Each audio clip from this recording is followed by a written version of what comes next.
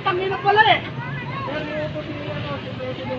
Putang ina ni President, putang ina nyo lahat. Sinigawan ako. Sinigawan ako, putang ina.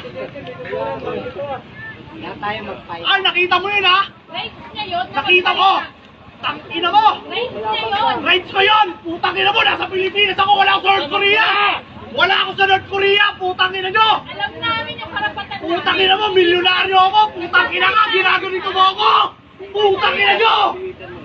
Putang ina nyo! Nandito lang ako para maghatid ng putay ng pagkain sa nanay niya!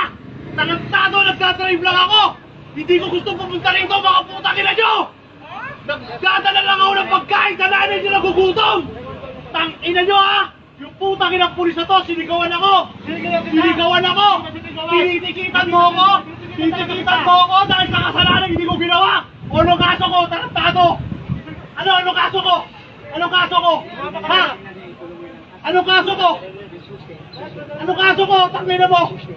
O sige nga, wala pa nga pa to kaso, di ba? Kasi putang ina mo, nag-iimbento ka ng kaso! Tangina mo!